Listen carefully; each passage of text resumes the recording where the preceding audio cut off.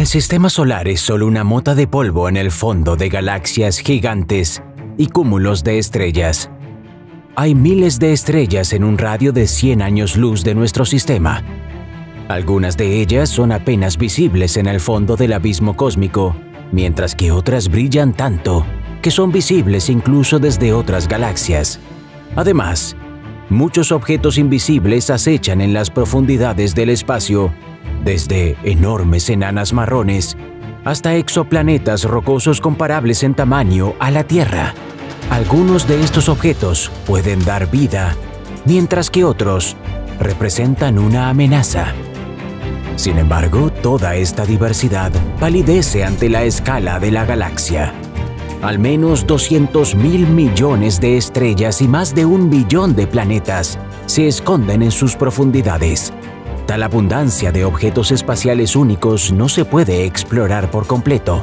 Por lo tanto, hablemos de los más cercanos de ellos.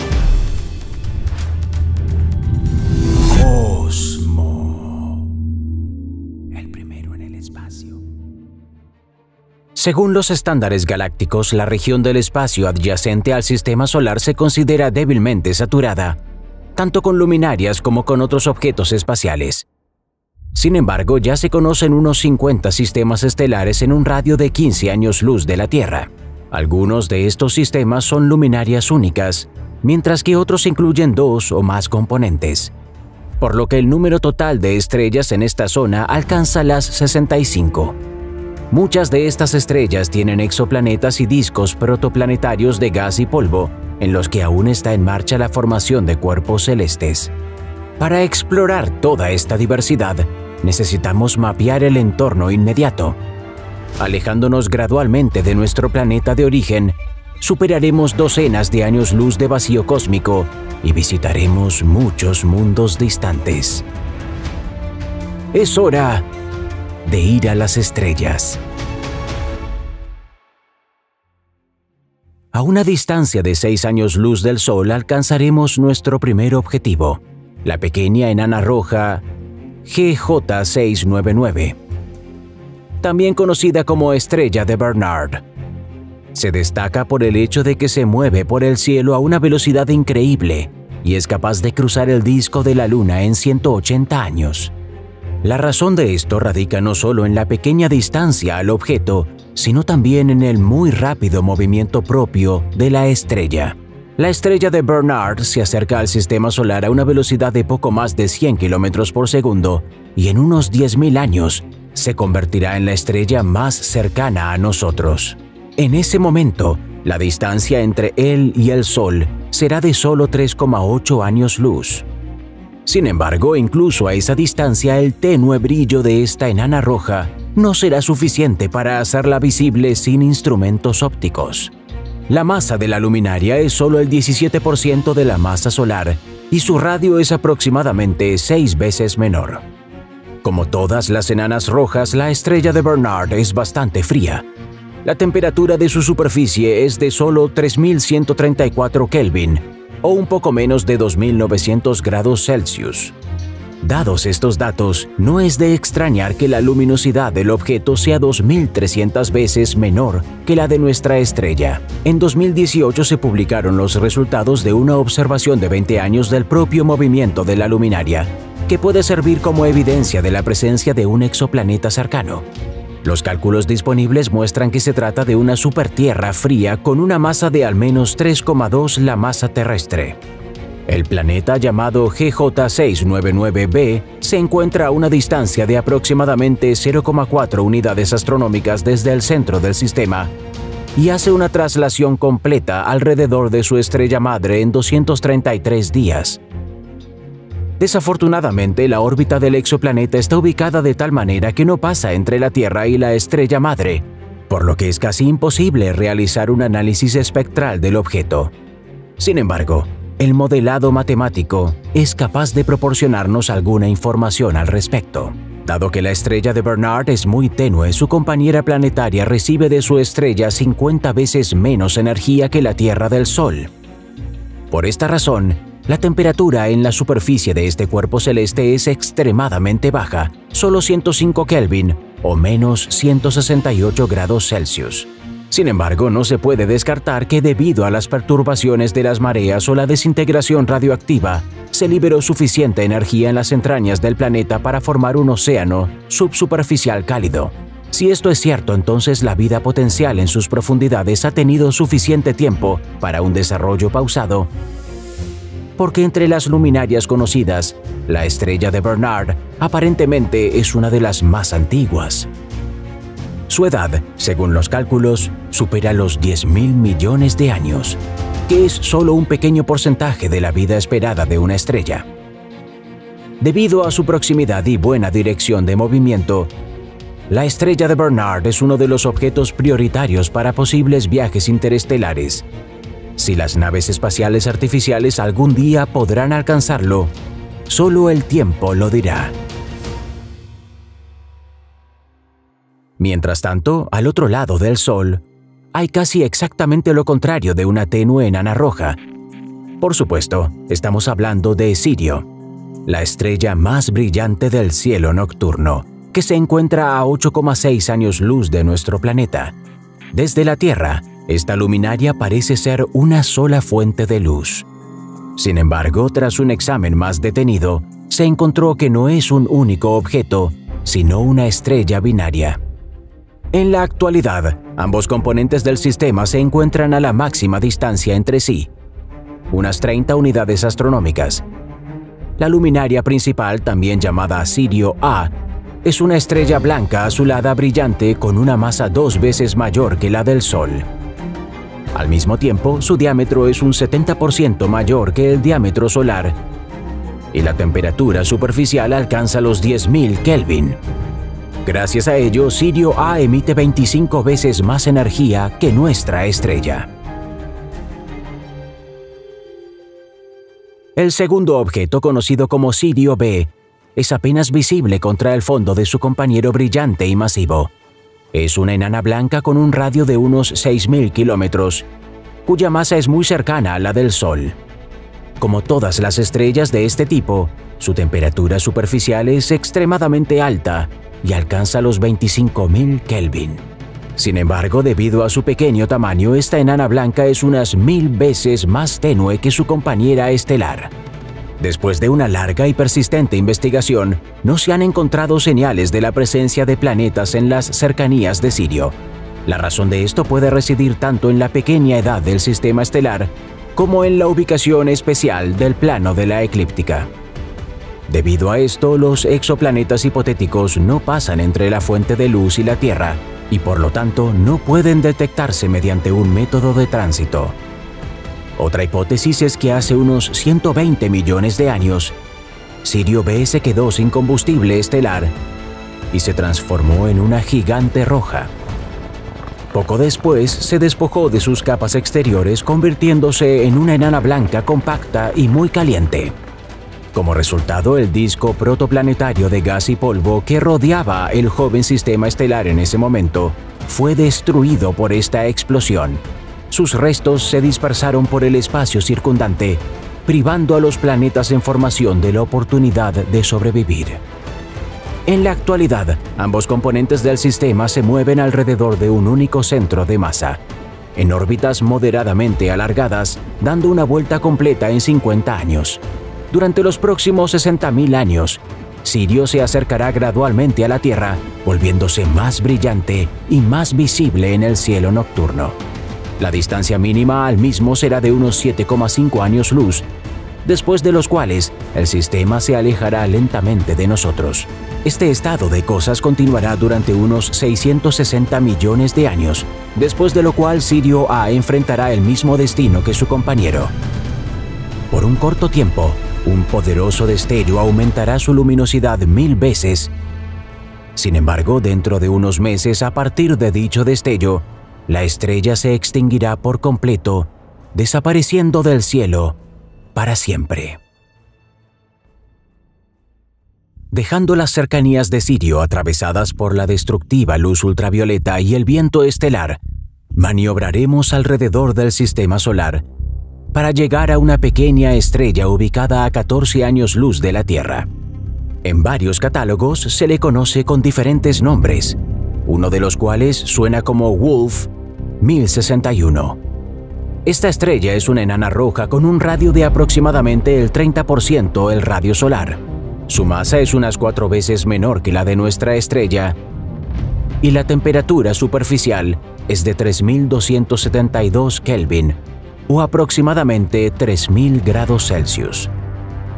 Como todos los objetos de su clase, Wolf 1061 es extremadamente tenue. Su luminosidad es solo el 0,14% de la del Sol, por lo que la estrella no es visible desde la Tierra a simple vista. Sin embargo, esta enana roja tiene uno de los entornos planetarios más numerosos y diversos entre los sistemas estelares más cercanos. Se han descubierto hasta tres exoplanetas en sus proximidades, y todos ellos son rocosos y de composición cercana a la Tierra. Al mismo tiempo, las condiciones en cada uno de los tres cuerpos celestes difieren significativamente. El primer exoplaneta y el más cercano a la estrella madre se llama Wolf 1061b, se encuentra a una distancia de 0,038 unidades astronómicas desde el centro del sistema y hace una revolución completa alrededor de él en unos 5 días. La masa del objeto se encuentra en el rango de una Tierra y media a 2 y el radio es un 20% más grande que el parámetro correspondiente de nuestro planeta. Es bastante probable que el cuerpo celeste se encuentre en acoplamiento de marea y esté constantemente girado hacia su estrella de un lado.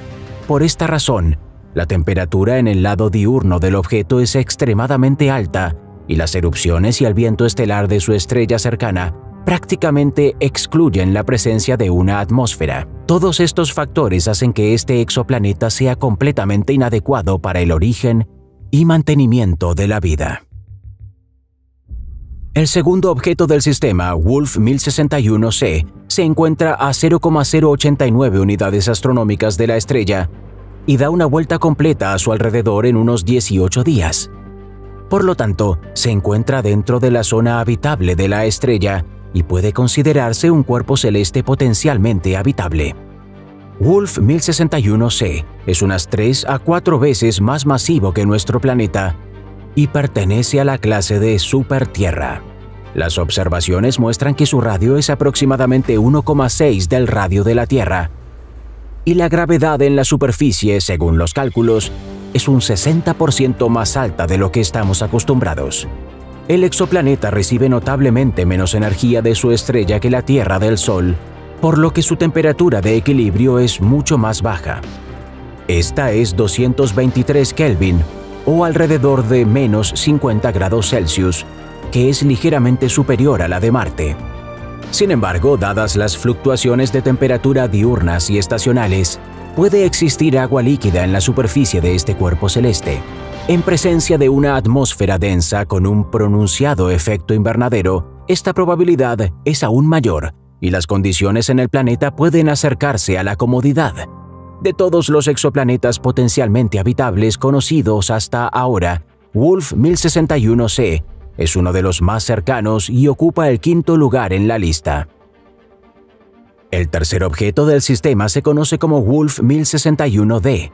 Se mueve a lo largo de una órbita notablemente alargada, en cuyo punto más alejado la distancia entre el planeta y la estrella madre alcanza las 0,73 unidades astronómicas el perihelio de la órbita se encuentra mucho más cerca del centro del sistema, solo a 0,21 unidades astronómicas. Al mismo tiempo, la rotación anual completa de este cuerpo celeste toma aproximadamente 217 días terrestres. Según los cálculos, la masa de Wolf 1061d es de aproximadamente 7,7 la masa terrestre. Si este cuerpo celeste es un objeto rocoso, entonces su radio es aproximadamente 1,7 del de la Tierra. Si el planeta es un mini Neptuno con una atmósfera densa de varias capas, su tamaño debería ser al menos 2,2 veces el diámetro de nuestro planeta. A pesar de la excentricidad orbital relativamente alta, Wolf 1061d nunca entra en la zona habitable de su estrella. Aparentemente el cuerpo celeste no es apto para albergar vida, pero puede ser de gran interés científico desde el punto de vista de la evolución planetaria. Este sistema es uno de los objetivos prioritarios para futuras investigaciones, por lo que es probable que pronto se realicen nuevos descubrimientos en él.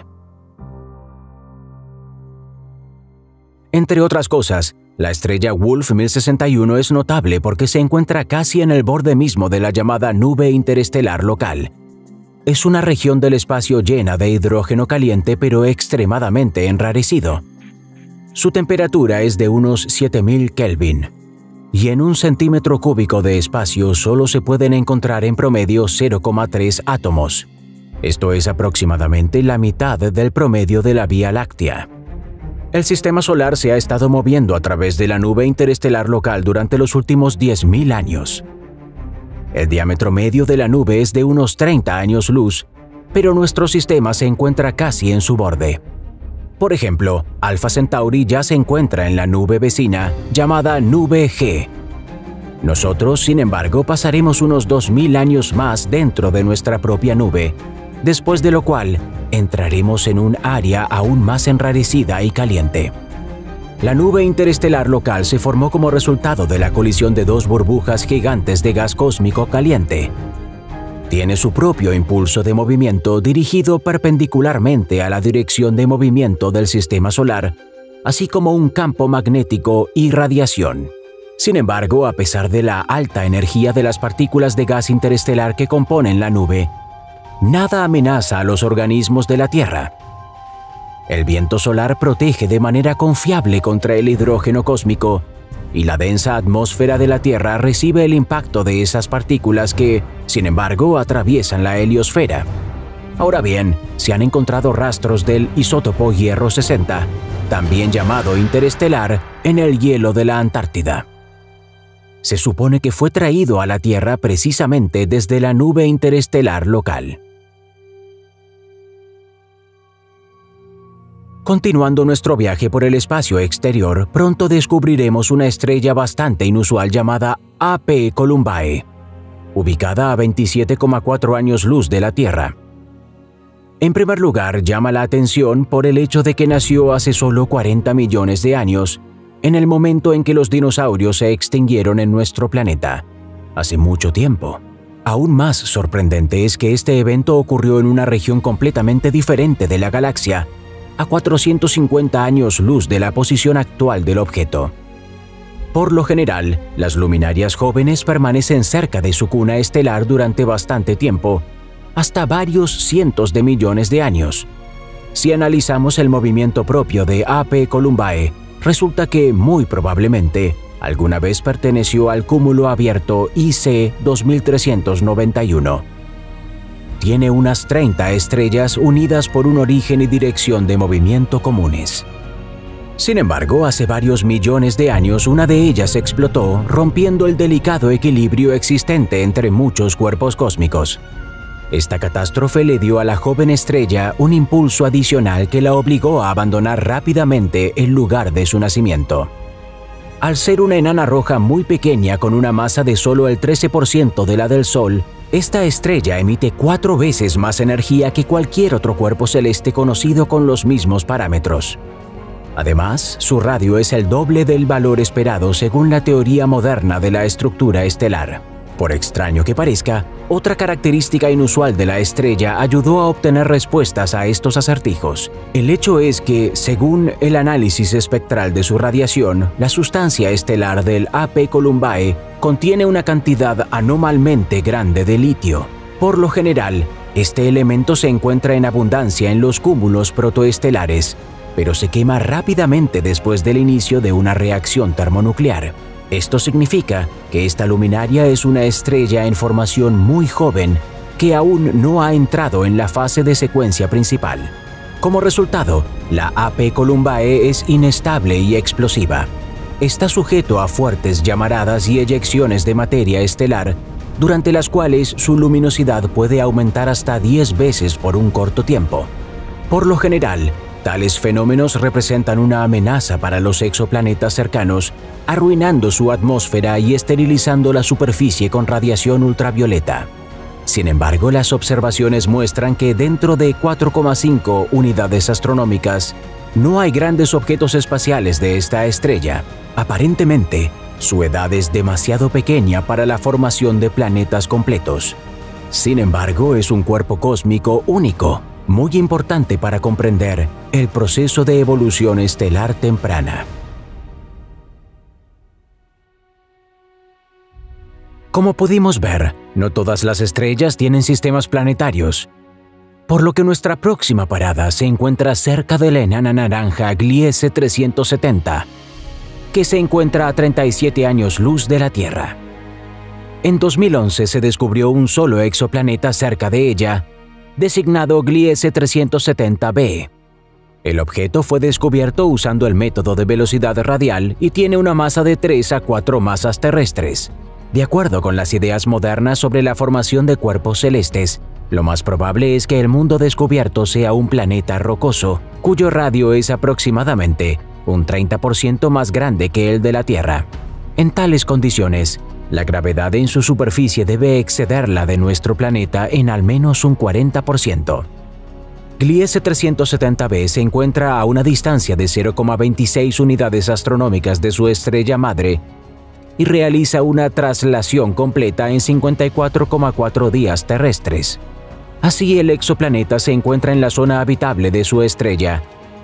Si el valor del albedo de su superficie es cercano al de la Tierra, entonces la temperatura promedio del cuerpo celeste debería ser de aproximadamente 25 grados Celsius, que es apenas varios grados más alta que en la Tierra. El hecho de que el exoplaneta se encuentre lo suficientemente lejos de su estrella madre sugiere que no está en acoplamiento de marea y que tiene su propio ciclo diario. Esto contribuye a una distribución más uniforme del calor sobre la superficie de este cuerpo celeste y como resultado puede provocar un clima más templado. Una gravedad moderadamente alta debería suavizar el relieve del planeta, lo que, combinado con una abundancia de agua líquida, puede provocar la formación de mares espaciosos, cálidos y poco profundos. Tales lugares son tradicionalmente considerados los más cómodos para el origen y mantenimiento de la vida. En el momento de su descubrimiento, Gliese 370b fue considerado uno de los exoplanetas más atractivos para la vida biológica potencial. Sin embargo, estudios más recientes han sugerido que las condiciones en su superficie son algo menos cómodas de lo que se pensaba anteriormente. En particular, existe la posibilidad de que la atmósfera de este cuerpo celeste sea demasiado densa y tenga un efecto invernadero pronunciado. Sin embargo, incluso según las previsiones más pesimistas, la temperatura media en la superficie del objeto no supera los 78 grados Celsius, lo que corresponde a un rango de temperaturas de aproximadamente de entre 30 a 100 grados Celsius. Teniendo en cuenta que el clima de nuestro planeta durante el periodo arcaico era aproximadamente el mismo, Gliese 370b sigue siendo un exoplaneta muy atractivo para la búsqueda de vida extraterrestre lo que significa que su investigación continuará. Si nos detenemos un momento y miramos a nuestro alrededor, encontraremos que ya nos hemos alejado del sistema solar más de 50 años luz. En este radio hay más de mil estrellas, la mayoría de las cuales son solitarias. Otros objetos son grupos binarios o incluso completos de luminarias. El ejemplo más llamativo de esto es Castor, un sistema complejo y sorprendente que consta de seis componentes a la vez. Este sistema estelar está ubicado a 50 años luz de la Tierra y es visible a simple vista como una única fuente de luz, siendo el segundo objeto más brillante de la constelación de Géminis y el 23 en todo el cielo estrellado. Castor ha sido conocido por la gente desde la antigüedad. Dado que el sistema cuenta con seis componentes, tiene una estructura bastante compleja. Los dos más brillantes, Castor A y B, son luminarias de color blanco azulado similares a Sirio, cada una de las cuales tiene un satélite cercano, una enana roja. La distancia entre los centros de masa de estas estrellas binarias es de unas 110 unidades astronómicas y les lleva 445 años completar una traslación. A alrededor de 600 unidades astronómicas de Castor A y B, se encuentra otro sistema binario cercano, que consiste en un par de enanas rojas muy similares entre sí. La masa de cada una de ellas es de aproximadamente 0,6 masas solares y la temperatura de sus superficies es de aproximadamente 3900 Kelvin. Ambas estrellas están ubicadas tan cerca una de la otra que tardan menos de 20 horas en realizar una traslación completa. Se mueven alrededor del centro de masa común de todo el sistema en una órbita elíptica muy alargada, con un periodo de traslación de aproximadamente 14.000 años. Hasta el momento no se ha descubierto ni un solo exoplaneta confirmado en el sistema Castor. Sin embargo, si existen, lo más probable es que estén ubicados aquí, cerca del componente más oscuro del sistema. Por ejemplo, en 2018 los astrónomos detectaron fluctuaciones en el período orbital de Castor C, lo que implica que podría haber una enana marrón cerca de ella, unas 49 veces más masiva que Júpiter. Según los cálculos, se encuentra a las 14 unidades astronómicas de su luminaria madre y hace una traslación completa a su alrededor en 54 años. Es posible que, como muchas enanas rojas, Castor C tenga exoplanetas rocosos ubicados cerca de esta estrella. En este caso, el firmamento de tal objeto hipotético debería tener una vista verdaderamente increíble. Por un lado, una parte importante de él está ocupada por dos luminarias carmesí que giran sin parar en el cielo. Y por otro lado, el crepúsculo eterno dispersa la luz de un par de estrellas cada una de las cuales es cientos de veces más brillante que la luna de nuestra Tierra. Aún es imposible verificar si este es realmente el caso. A pesar de que las luminarias que visitamos están separadas por grandes distancias, todas forman parte de una sola estructura con una longitud total de unos 300 años luz. Se llama burbuja local e incluye no solo miles de estrellas, sino también varias estructuras grandes, incluida la nube interestelar local. La burbuja local se formó como resultado de sucesivas explosiones de varias supernovas ocurridas hace entre 10 y 15 millones de años. Es una nube gigante de gas interestelar calentado a un millón de Kelvin. Debido a la alta temperatura, el gas tiende a expandirse por lo que su densidad es unas 10 veces inferior a la media de la galaxia.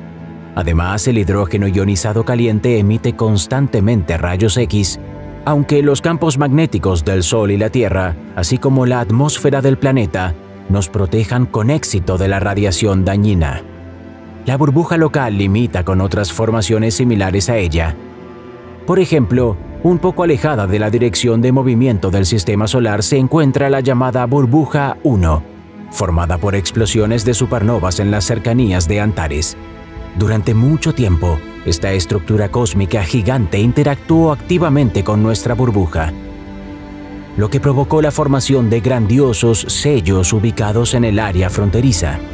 El centro de la burbuja vecina está a unos 500 años luz de nosotros, y solo después de varias decenas de millones de años, nuestro sistema solar llegará a sus fronteras nubes de gas caliente y cúmulos abiertos, nebulosas gigantes y corrientes estelares. Todas estas majestuosas estructuras cósmicas se suman a un solo sistema llamado galaxias. A su vez, se combinan en filamentos galácticos, corrientes gigantes y paredes de miles de millones de años luz de largo. Así se forma la estructura a gran escala del universo, escondiendo en sus profundidades una innumerable variedad de luminarias y mundos. ¿Quién sabe lo que encontraremos entre ellos?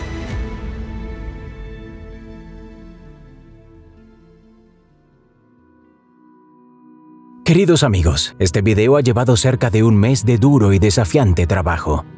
Es uno de los más largos y esperamos que uno de los más emocionantes. Mientras tanto, muchos de ustedes han estado preguntando cómo apoyar económicamente el proyecto, así que se nos ha ocurrido varias maneras de cómo pueden hacerlo. Si además de darle like y comentar quieren ayudar a nuestro canal, a partir de ahora estarán disponibles la sección de patrocinio y Patreon. Haz clic en unirse y elige el plan que más te convenga. Cada patrocinador será invitado a un chat en el que se publicarán las últimas novedades sobre nuestro flujo de trabajo. De este modo, no solo tendrás la oportunidad de apoyar nuestro proyecto, sino también de sentirte involucrado en la creación de nuevos videos.